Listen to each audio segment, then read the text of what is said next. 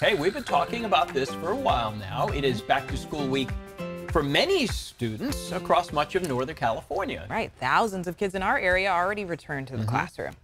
All right, yesterday, a big day in Southwest Roseville. Not only the first day back to school, but their first day of going to a new school.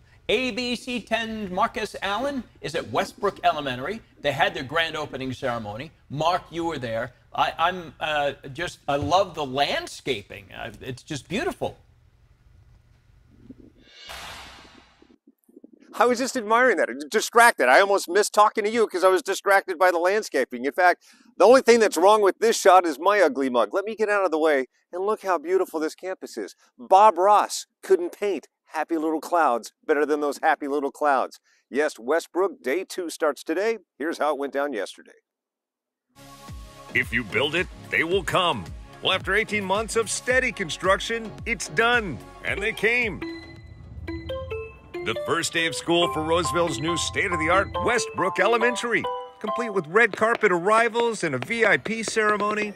Lisa Fong, president of Roseville City School District Board of Education, tells us what's great. Oh, everything about this new school. We've got a lot of outdoor spaces. We've got a great play structure. The kids are excited with the with the open spaces for learning, and the teachers are excited with the natural light that are com- that's coming through all their windows. It's gonna be a great year. I'll tell you one kid who's excited about that great play structure. Are you excited about your first day of school? Yes, What's the best thing about it? I get to play at recess. Okay, uh, the paint hasn't even dried.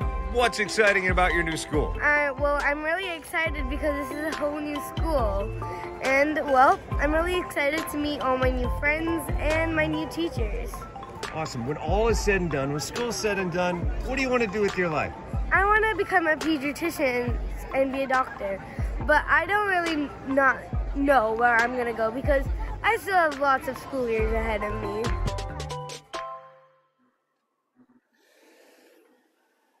Man, she's going to be a pediatrician. Understatement. A lot of school years ahead, like 80 school years, I think. I'm more the recess kid. I relate to the recess kid. That was me in elementary school. Either way, Westbrook, you have a gorgeous campus. It looks like a college university. Isn't that beautiful?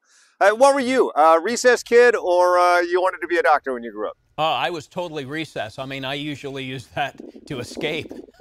you know, academics wasn't a big thing with me, obviously. So That's right. I assume you were pro- probably the same, right?